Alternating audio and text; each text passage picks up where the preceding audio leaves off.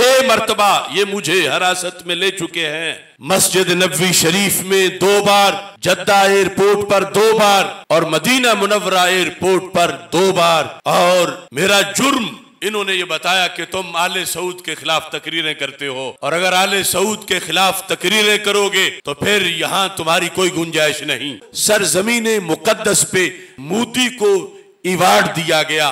देखो, मंदिर बनाए गए।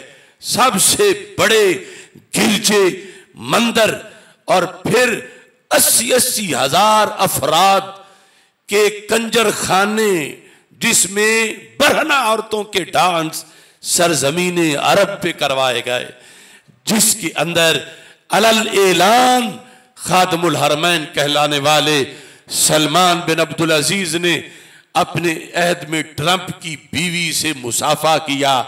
जिसमें अलल एलान शराब के अड्डे खोले गए, जिसमें अलल एलान बदकारियों के अड्डे खोले गए, यहू से मुहदे किए गए।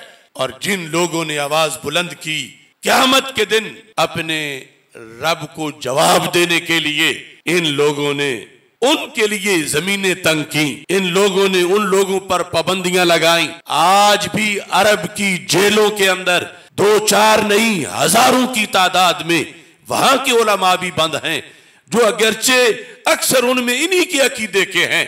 मगर वो भी इनके जुल्म पे जब चुप नहीं रहे, और उन्होंने भी इनकी यहूदियत नवाजी और इनकी नसारा की दोस्ती के खिलाफ कुरान जब पढ़ा है तो उन्हें भी रातों रात उठाया गया है, उन्हें भी बंद किया गया है, और दुनिया में जिस कोने पर भी जिसने आवाज़ बुलंद की इन्होंने उन लोगों को पकड़ा, उन्हें दबाया, उनके साथ वही सलूक किया जो आज बैतुल मुकद्दस में यहूदी मुस्लिम उम्मा के साथ कर रहे हैं। अब हमारा इनका झगड़ा पलाट का नहीं, हमारा और इनका झगड़ा कुरान का है। इन्होंने इसराइल को तस्लीम किया तो हमने कहा कि अल्लाह फरमाता है, ला तत्ता खिजुल यहूद अवन नसारा औलिया। कि यहूद नसारा को दोस्त ना बनाओ। तुम किस मुँह से उनसे दोस्ती कर रहे हो? वो कोरोना जो इंटरनेशनल एजेंडा था, साजिश थी, जिसमें तारीख में पहली मर्तबा आकर इन्होंने हरम शरीफ को बंद किया। पूरी दुनिया में उस वक्त इस बंदा ना चीज़ की अकेली आवाज़ गूंजी थी। और मैंने ये कहा था कि ये फ्रॉड है, ये इस्लाम के खिलाफ साजिश है मत बंद करो हरमैन शरीफ को।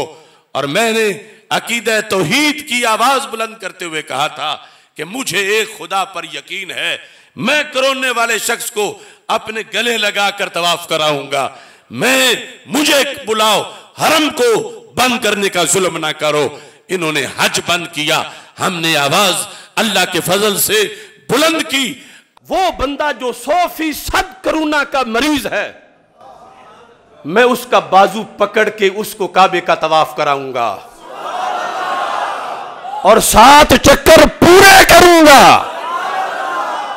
अपने ईमान के बेस पे कि ये जो आइसोलेट का कलमा पढ़ रहे हैं लेट कर मेरा ईमान है कि सिर्फ़ करीब जाना तो क्या, मैं उसको बाजू से पकड़ के, अपने साथ कंधे के नीचे दे के मैं उसको काबे के साथ चक्कर लगवा के बताऊँगा कि लादवा लादवा लादवा लादवा लादवा, कि रब के इजन के बगैर कोई बीमारी किसी को कुछ भी नहीं कह सकती।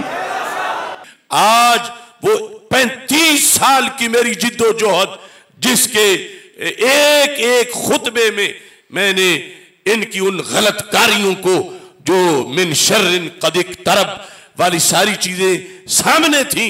अल्लाह का फजल है, मैंने खोल के बयान किया और उसके नतीजे में आज मुझ पे इन्होंने पाबंदियाँ लगाई। मेरा जो आखिरी सफ़र था, चंद दिन पहले की गुफ्तगु में 2019 के डॉक्यूमेंट्स के लिहाज से मैंने बताया, उस वक्त से ये मुझ पे पाबंदियाँ लगाए हुए हैं। मेरी अजम से उठने वाली आवाज़ इनके ईवानों में अल्लाह के फजल से उसने जलजला तारी किया। और मैं इनकी पाबंदी को जूते की नोक पे रखता हूँ। लब्बैक लब्बैक लब्बैक या रसूल अल्लाह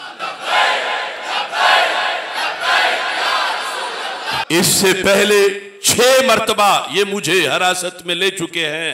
मस्जिद नबी शरीफ में दो बार, जद्दा एयरपोर्ट पर दो बार और मदीना मुनवरा एयरपोर्ट पर दो बार। और मेरा जुर्म, इन्होंने ये बताया कि तुम आले सऊद के खिलाफ तकरीरें करते हो। और अगर आले सऊद के खिलाफ तकरीरें करोगे तो फिर यहाँ तुम्हारी कोई गुंजाइश नहीं। मुझे वो कहने लगे कि हम आले सऊद के गुलाम हैं। तो मैंने बरबला कहा तुम आले सऊद के गुलाम हो तो मैं आले दरूद का गुलाम हो। लब्बैक या रसूल अल्लाह के बारे में उन्हें तशवीश है।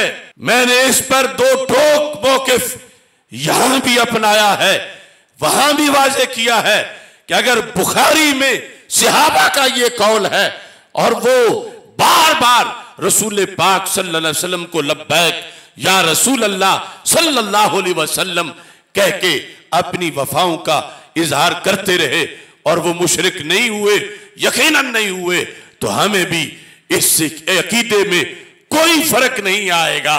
लिहाजा ये हमारा नज़रिया, जिस नज़रिए की सदाकत हमें कुरान से मालूम है, हदीस से मालूम है, हम सब कुछ जान तक कुर्बान कर सकते हैं, मगर अपना नज़रिया कभी भी छोड़ नहीं सकते, इंशाल्लाह।